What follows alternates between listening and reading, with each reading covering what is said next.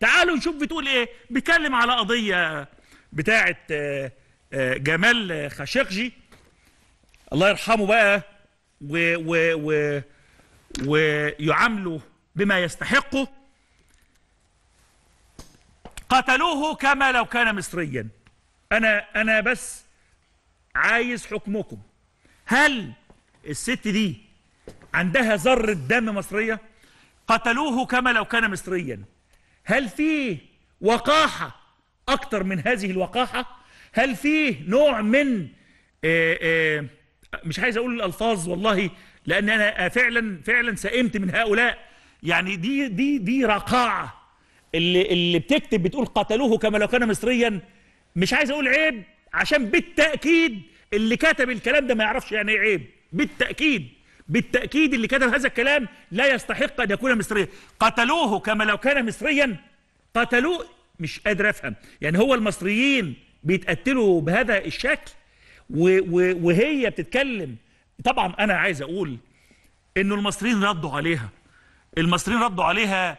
واحد آه، آه، عمرو شيخ العرب قال لها عميلة كما لو كنت صهيونية. والله بليغ رد بليغ من واحد مصري. اديني اديني آه، اهو اماني آه، آه، العقاد بتقول لها وستدف- وستدفنين غريبة كما لو كنت قطرية. لا ده واخدين نفس الوزن اللي بعديه. اللي بعديه خالد آه، آه، آه، شعلان من أجل حفنة من الاسترليني تلعقي أحذية الغرب وتقفي عند أرجلهم كما الجرو. الفار يعني التائه الأيام تمضي سريعا. وسيمر الشباب وستبلغي من العمر أرذله وعندما تعودين إلى الوطن ستجد الباب موصدا وستموتين غريبة مجهولة النسب لا أرض ولا أصدقاء سوى أوراق البنكنوت في حساب بلا صاحب عليك اللعنة. ده ناس بيردوا عليه. هات تاني عبد المنعم الأحمد. ده مش مصري أعتقد.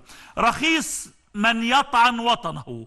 ويشوه سمعته تلفظه الأرض وتكرهه الشعوب وتلعنه الأيام. ده مين؟ ده ناس ردوا عليها بتقول قتلوه كما لو كان مصريا. يا دي الوقاحة يا دي قلة الأدب يا دي السفالة يا دي ألو... مش عارف أقول.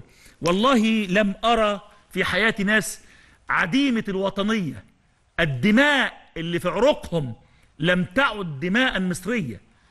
بهذا الشكل قتلوه كما لو كان مصريا. والله تستحقي كل اللعنات كل اللعنات. أنا أطالب مجددا أطالب مجددا بإسقاط الجنسية عن هؤلاء. دي شغالة في البي بي سي بكرة هتطرد من البي بي سي. هتيجي تقعد ساعتها وتنظر زيها زي غيرها وتقول أنا كنت وأنا مش كنت. إحنا في لحظة فارقة بين الوطن ولا وطن بين الوطنيين والمرتزقة. كلام واضح. شيل الصورة عشان عرفت.